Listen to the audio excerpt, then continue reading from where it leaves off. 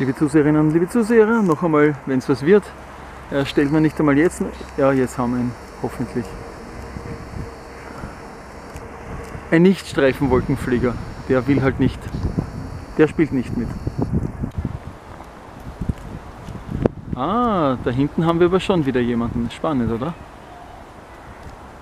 Der sprüht nicht, aber da hinten, den hätte ich fast übersehen. Schaut mal, was der sprüht. Schaut, schaut rötlich aus, gell?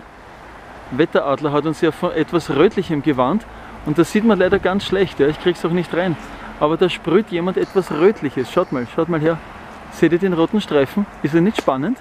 Wäre mir nicht aufgefallen, wenn uns dieses Passagierflugzeug nicht darauf aufmerksam gemacht hätte.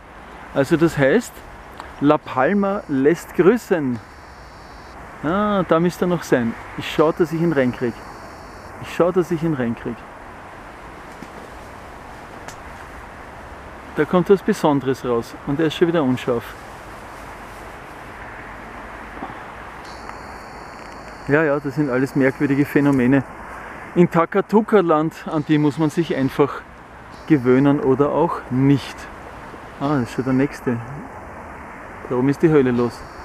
Okay, aber jetzt, ich glaube, ich bin Verkehrsflugzeug und hier der nächste Dunkelstreifensprüher. Also das ist ja bemerkenswert. Ich hoffe, du siehst das. Ich sehe es hier auch ganz schlecht, aber da hinten ist ein zweiter im Gefolge. Passagiermaschine und hier ist was anderes. Komisch, gell? Ja, ja. Takatuka-Land lässt grüßen. Schauen wir, ob wir den Passagierflieger noch finden. Der sollte das da sein. Sehr spannend, was sich da jetzt noch so tut alles.